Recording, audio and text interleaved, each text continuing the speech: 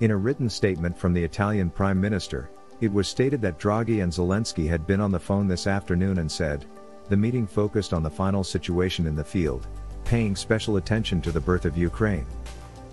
Draghi has also confirmed the support of the Italian government in coordination with other members of the European Union. His statements were used.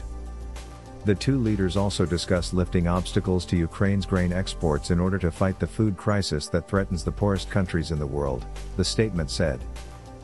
Zelensky has also expressed appreciation for the Italian government's efforts and agreed to continue talks with Draghi on possible solutions.